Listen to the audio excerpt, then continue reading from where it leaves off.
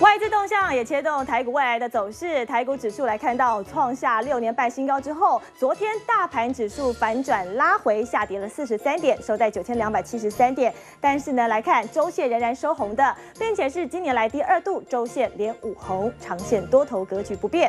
值得注意的是，外资呢昨天转为了卖超八亿元，那么终结了连十一买。下个礼拜将会有摩台指结算，如果外资持股信心不强，净多单口数持续的下滑，甚至翻。翻空，那么将会是大盘回档警讯。